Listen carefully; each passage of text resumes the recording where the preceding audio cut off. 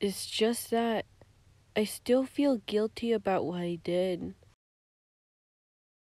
I've been waiting to get my revenge on you for so long! Now, the time has come for me to put an end to you for good, Supreme!